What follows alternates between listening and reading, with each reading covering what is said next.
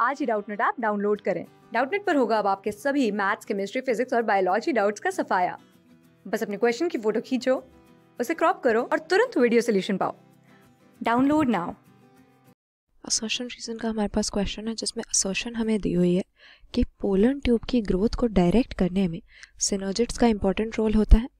अब यहाँ पर हम फ्लावरिंग प्लांट्स की सेक्सुअल रिप्रोडक्शन की प्रोसेस की बात कर रहे हैं। तो सबसे पहले उनके एम्ब्रियो सैक का स्ट्रक्चर समझना हमारे लिए ज़रूरी है।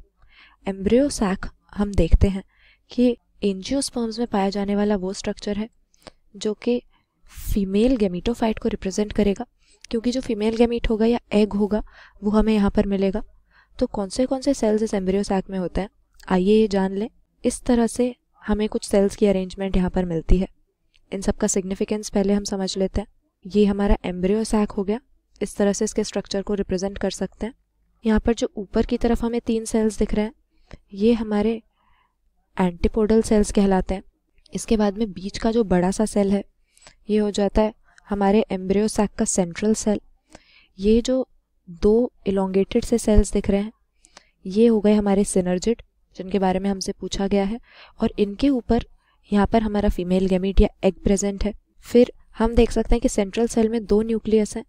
इन्हें हम पोलर न्यूक्लियाई का नाम देते हैं। तो अब ये एम्ब्रियो सैक ओव्यूल के अंदर होता है और हमें माइक्रोपाइल नाम की यहाँ पर एक ओपनिंग मिलती है, जिसके थ्रू पोलन ट्यूब इस एम्ब्रियो सैक को एंटर करेंगी। हमें मालूम है कि पोलन ग्रेन मेल गेमीटोफाइट को रिप्रेजेंट करती है और ये पोलन ग्रेन जब किसी फ्लावर के स्टिग्मा पर गिरेगी तो अगर वो कंपैटिबल स्टिग्मा होगा तो पोलन ग्रेन की जर्मिनेशन हो जाएगी और पोलन ट्यूब बनेंगी। जिसके थ्रू दो मेल गैमीट्स इस एम्ब्रियो सैक तक आएँगे। तो पोलन ट्यूब जब एम्ब्रियो सैक को फीमेल गैमीटोफाइट को एंटर करने की कोशिश करती है तो माइक्रोपायल नाम के इस अपर्चर या ओपनिंग के थ्रू करती है। लेकिन किस तरह से इसको ट्रैवल करके एग तक पहुंचाना है मेल गैमीट्स को, इसके लिए इसको डायरेक्ट ये सिनर्जेट सेल्स करते हैं। हम देखते हैं कि सिनर्जेट सेल्स के ऊपर एक फिलीफॉर्म अपरेटस नाम के स्ट्रक्चर होते हैं।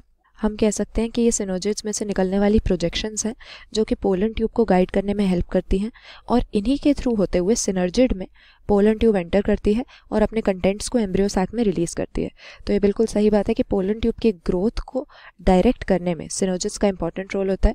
पहली चीज़ तो ये कि फिलिफॉर्म अपरेटस की हेल्प से ये डायरेक्ट करते हैं पोलन ट्यूब को, और दूसरी चीज़ कि कुछ केमिकल सब्सटेंसेस हम कह सकते हैं कि कुछ प्रोटीनेशियस सब्सटेंसेस या कुछ एंजाइम भी ये सिक्रीट करते हैं, जो पोलन ट्यूब को अपनी तरफ़ अट्रैक्ट करें। तो रीज़न भी यहाँ पर सही दिया हुआ है सिनोजिट्स कीमोट्रोपिकली एक्टिव सब्सटेंस यानी ग्रोथ को गाइड करने वाले कुछ प्रोटीन्स या एंजाइम सिक्रीट करते हैं, जो कि पोलन ट्यूब को सही डायरेक्शन में ले जाते हैं ताकि अपने कंटेंट्स ये सही जगह पर रिलीज़ कर सके। तो यहाँ पर सही आंसर ऑप्शन ए मार्क कर देंगे। असोशन भी सही है कि पोलन ट्यूब को गाइड करने में सिनोजिट का रोल होता है और रीज़न भी सही है कि सिनोजिट्स कुछ कीमोट्रोपिकली एक्टिव सब्सटेंस सिक्रीट करते हैं ताकि पोलन ट्यूब प्रॉपर डायरेक्शन में ग्रो कर सके। क्लास सिक्स से ट्वेल्थ से लेके NEET I I T JEE mains और एडवांस के लेवल तक। दस मिलियन से ज़्यादा स्टूडेंट्स का भरोसा।